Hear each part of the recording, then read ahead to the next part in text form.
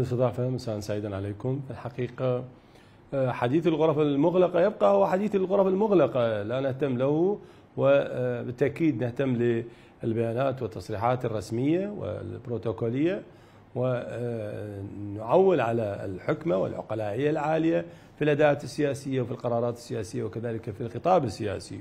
نحن في الحكمة آه، نريد دائما أن يكون هنالك تهدئة في الساحة السياسية، نريد دائما أن يكون هنالك عمل متواصل من أجل خدمة الشعب العراقي وأيضا البناء الصحيح آه، في بناءات الدولة ومؤسساتها والتعالي عن لغة الشخصنة ولغة الخطاب المتشنج والزج بالشارع في تون حديث لا غنى لا فائدة منه ولا جدوى.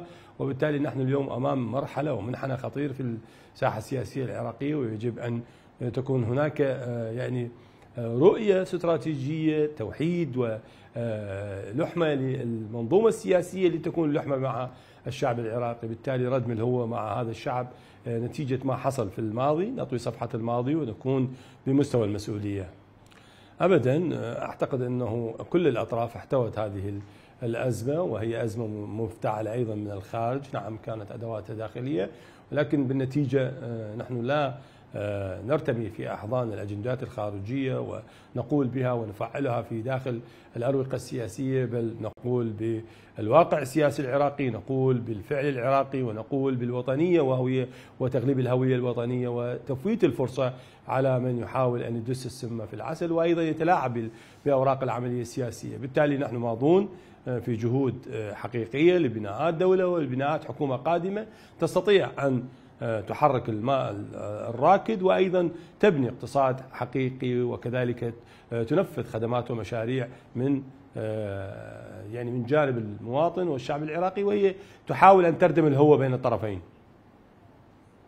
هناك اجتماع قادم في يوم الخميس القادم مع رئيس البرلمان العراقي ورؤساء الكتل وأعتقد أن هذا الموعد سيحدد موعد الجلسة القادمة ولا بد أن يكون هنالك إعلان يسبق هذه الجلسة لمسمى رئيس الجمهورية وكذلك مسمى رئيس الوزراء لتنطلق الآليات الدستورية وفق رؤية مشتركة وفق رؤية صحيحة وفق رؤية تنهض بالقرار السياسي ولا تكون متخلفة عن ما نعيشه اليوم في ظل تداعيات أزمات كبيرة خارجية وداخلية يجب أن يكون هنالك تعالي عن الأنا والمصلحة الفئوية والحزبية والذهاب بعيدا تجاه مصلحة الشعب العراقي وبناءات الدولة الحقيقية. بالتالي لا يمكن بناء هذه الدولة وفق المشاحنات والمهاترات ووفق آه، رؤى متشنجة. لا يمكن أن يكون هناك أداء متصاعد ورتم متصاعد للمنظومة السياسية ما لم يكن هناك تعاطي مع المرحلة بشكلها وبواقعها وقراءتها قراءة صحيحة. نعم.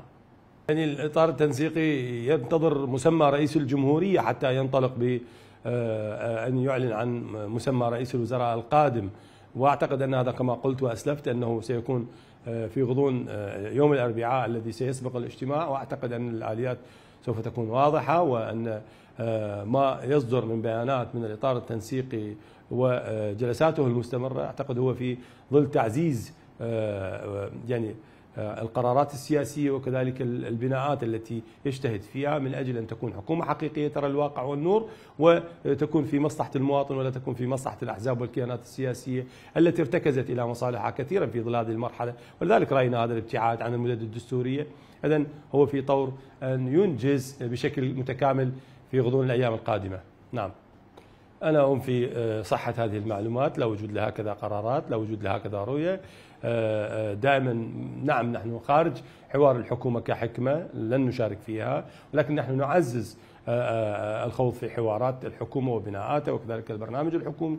وندفع باتجاه أن تكون هناك فعلا حكومة قوية قادرة على أن تنهض بالمرحلة وتحدياتها وأن تسعف الشعب العراقي وأن يكون متأملا لعطاءات مختلفة ومدخلات جديدة لتكون هنالك مخرجات يعني أفضل من السابق. التعاطي مع المرحلة ضروري جدا أن يكون بواقعية. العراق يعني اختطت له القوى الخارجية أن يجب أن يذهب باتجاه الاستقرار ولكن هناك أعتقد من لا يريد ذلك للعراق ويجب أن نتعامل مع هذا بذكاء وحنكة سياسية.